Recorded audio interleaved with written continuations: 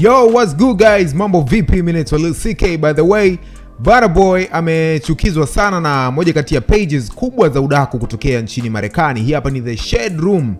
E, moja kati ya page ambazo zinafanya vizuri sana na zinasikilizwa na kutazamwa sana na mastaa wengi. So kwenye hii uh, page ya Shade Room imeweza kuposti baadhi ya picha za mastaa ambao wameonekana wakinyoa ndevu zao umeona? Na kama unavyoona hapa wameanza na picha ya Burna Boy. Yeye ndio upo kwenye front page pale. Eh, uh, hii ni picha ya Burna Boy japokuwa ni ya muda mrefu ali- alinyoa ndevu zake 2021 so uh, unamwona mtu mwingine ni huyo hapa lakini pia kuna baadhi ya mastaa wengi humu. Na mwishoni hapa kama unavyoona ni moja kati ya watu maarufu Michael B. Jordan ambaye yeye pia alinyoa ndevu zake.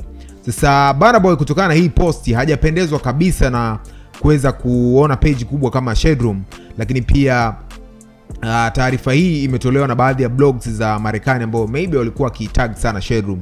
Na Shedroom Room wameichukua na kuiposti kupitia peji yao. Hii kubwa ambayo ina zaidi ya uh, followers eh, milioni 29.1 so Burna Boy aliandika uh, huu ujumbe ambao naenda kusomea hapa. Burna Boy amekuja kuandika to all you weirdos who depends on the Shedroom and other weirdo blogs uh, for all your daily news. I've shaved my beards in 2021 not now but it is all good to know for all the history I have making and records I've been setting and breaking. Uh, you parasites only care about who I might have fucked and who I am fucking. And stupid shit like Burna Boy uh, shaved his beard.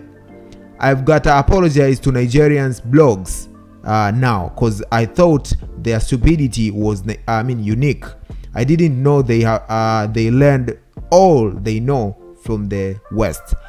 Uh, hapa akiwa na maana kwamba uh, kwa blogs ambazo ni za ajabu yani zenye mambo ya ajabu kama The Shade Room kwa sababu wameichukulia kama ni blog ambayo uh, ni kubwa lakini na, inafanya mambo ya ajabu so amesema kwamba na blog nyingine zote ambazo mmekuwa mkiandika habari zenu eh, kwa mambo yote ambayo amefanya Burna Boy makubwa hamjayaona mmekuja ku uh, ona hili la kunyoa uh, ndevu kwa sababu ametengeneza rekod nyingi kubwa lakini pia mambo mengi tunafahamu Burna Boy amekuwa akiyafanya makubwa lakini hawajaweza kuyaongelea. Wamekuja kuongelea ishu ya Burna Boy kuweza kunyoa ndevu zake. Na hii by the way sio mwaka huu amesema sio sasa hivi.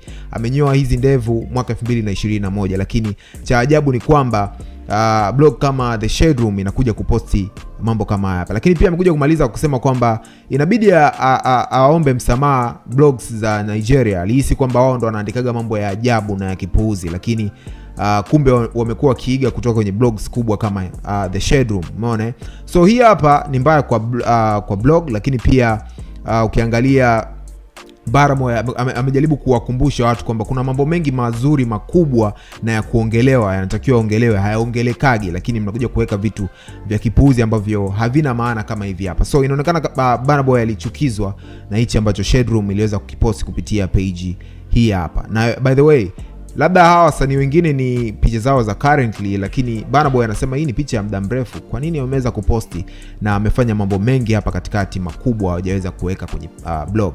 So unaweza ukaona kwamba kumbe sio tanzania tu tunao entertain vitu vingine vya kipuuzi hata blogs kubwa na nchi za wenzetu pia wanafanya haya mambo. Niambie kwenye comment section by the way hata kama Burna Boy atakuwa ali uh, chef uh, hii ndevu zake mwaka 2021 niambie anaonekanaje? Unamwonaje akiwa ana ndevu na akiwa hana ndevu?